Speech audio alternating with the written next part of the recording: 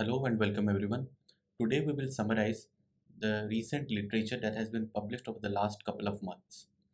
This is the part one of the presentation. The use of multipotent adult progenitor cells that is invimestrocel for ARDS. It is again a phase 2 trial.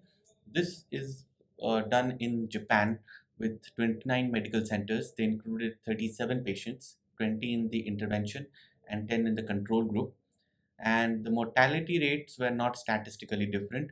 However, the HRCT scores were lesser in the intervention and the IL-6 and CRP levels were similar between the two groups.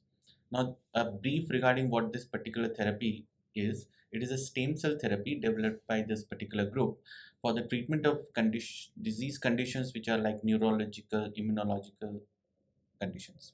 It's a multipotent adult progenitor cell harvested from the bone marrow of a healthy donor.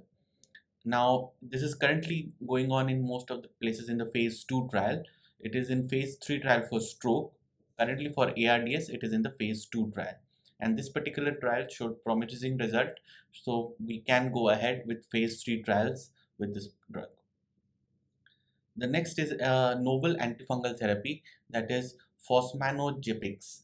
It is for treatment of candidemia. This is again a phase 2 trial. Uh, this is given at a dose of 1000 milligrams IV twice daily. Uh, this is the loading dose and the maintenance dose is 6 milligram IV once daily. And once you switch it from IV, you can give it orally 400 milligrams daily for day 4 and you give it a maximum for 14 days.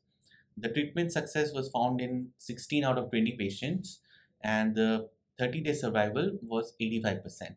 No treatment related side effects or discontinuation was seen. So it was found to be safe, well tolerated and efficacious therapy. Again, something which we can go ahead and do a phase 3 trial with.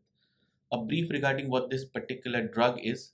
This is the pro drug for manogepix. Manogepix is a enzyme inhibitor which inhibits the inositol pathway thereby blocking this GWT1 and with the blockade of this the GP1 enzyme or the protein is reduced.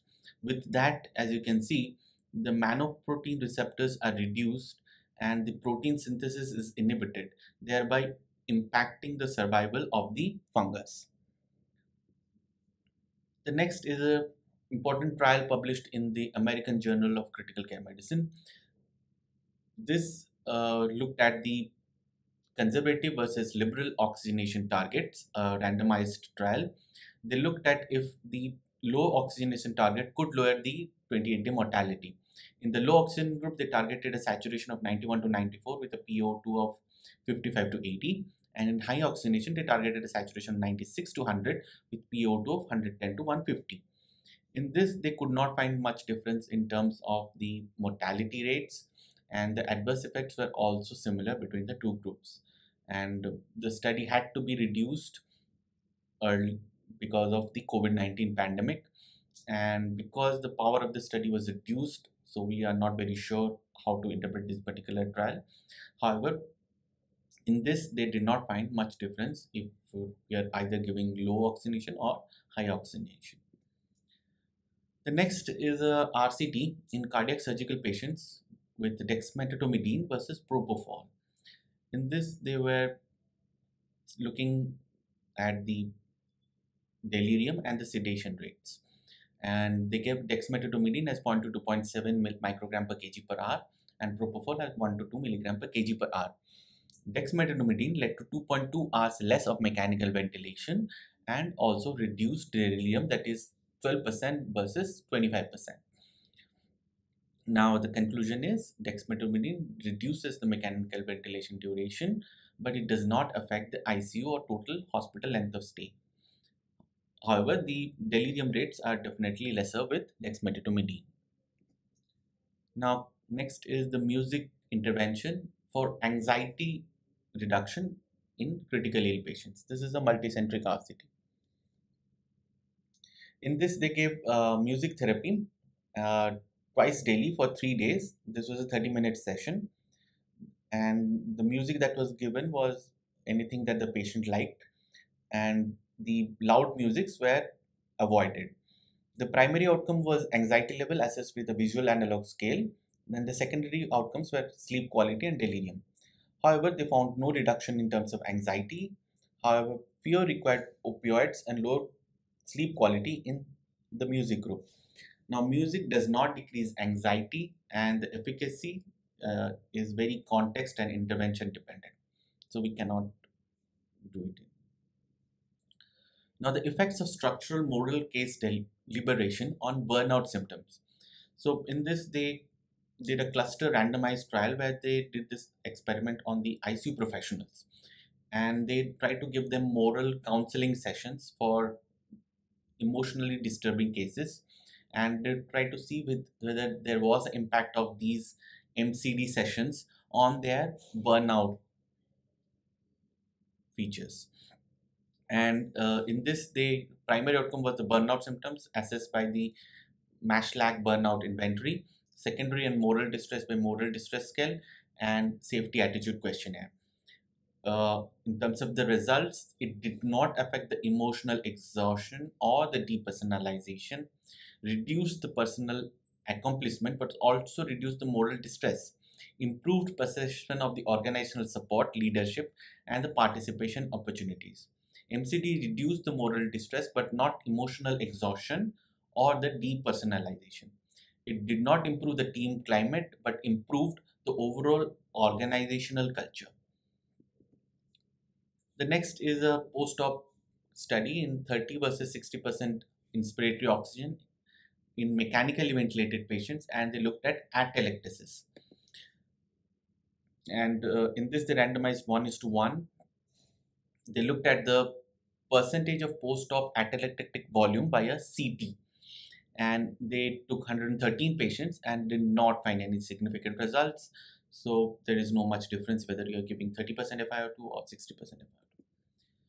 The next is the use of a device which is mimicking the cuff that is mechanical insufflexion device. This was used in acquired weakness patients of ICU acquired weakness and uh, MRC score of less than 48 was the inclusion criteria. They included 122 patients.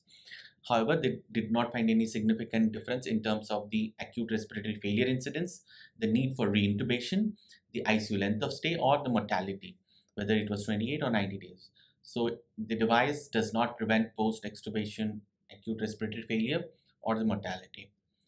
Further studies are recommended. The next is a novel sedation drug that is ciprofol. It is being recently used in Australia and China and it was a non-inferiority trial. They wanted to compare whether it is comparable to propofol in terms of ICU sedation. They used the RASS scale for this. The primary endpoint success was 97% with ciprofol and propofol. The non-inferiority margin was 8% and the, there was a slightly longer recovery time with the ciprofol with no other significant difference in terms of the secondary outcome. So if you look at it, it was a well tolerated and it was non-inferior to propofol as far as sedation goes, requiring mechanical ventilation for at least 24 hours. The next is an important trial which was published in JAMA that is the ARREST trial.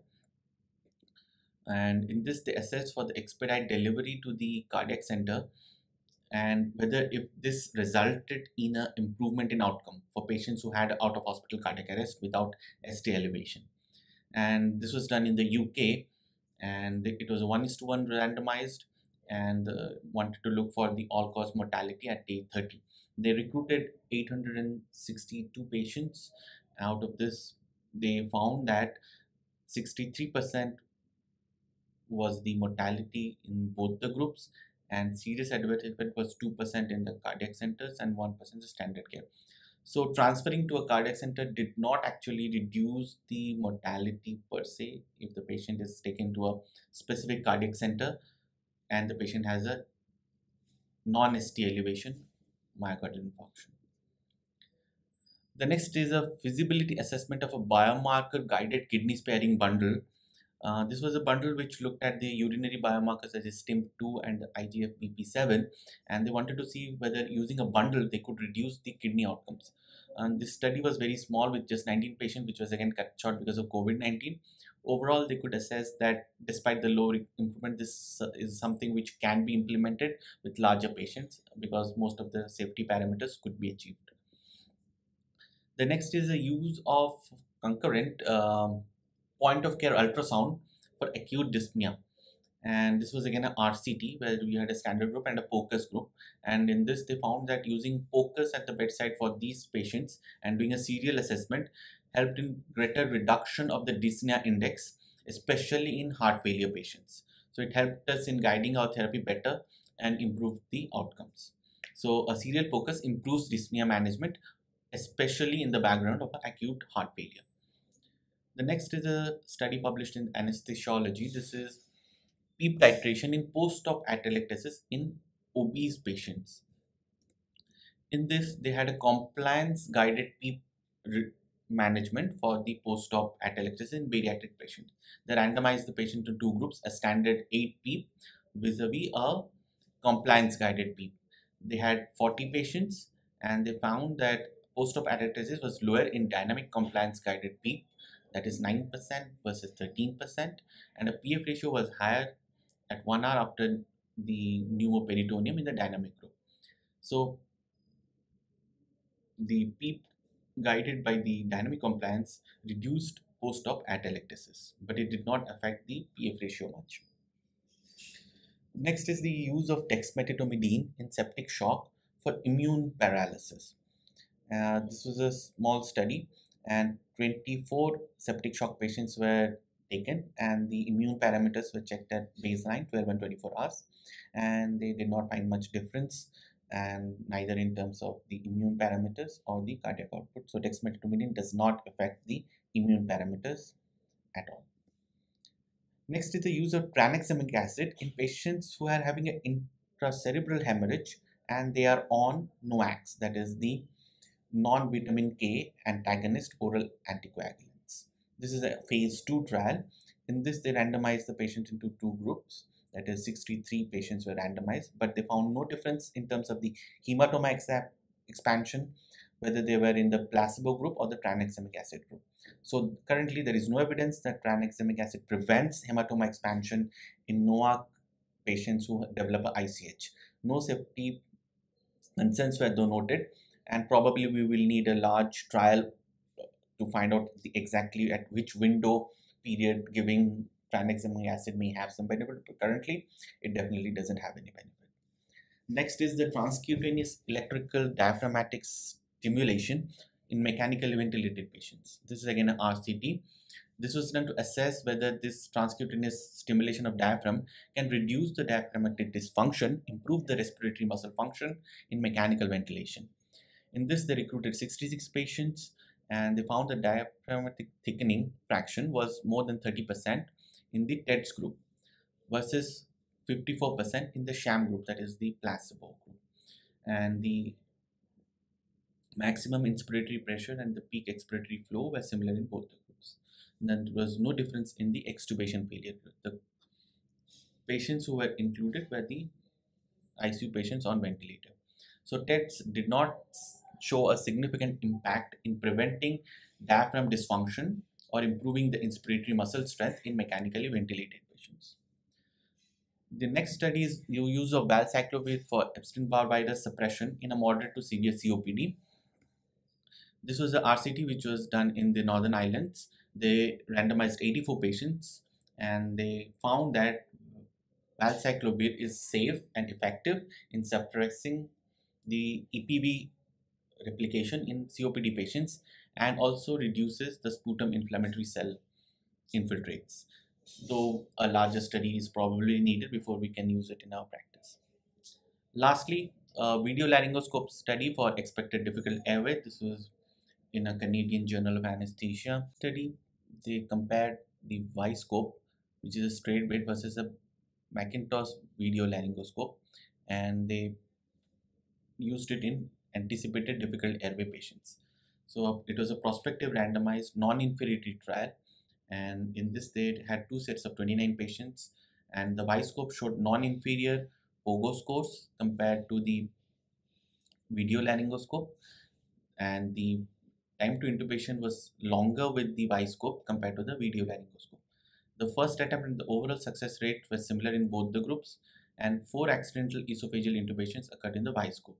So VieScope can be considered as non-inferior to the video laryngoscope for laryngeal visualization but had a longer time to intubation and both of the devices had similar success. Thank you for your patience and please uh, comment below if you want us to elaborate on any particular study. So we will do a further video where we'll look into the more detailed aspect of these studies. Thank you.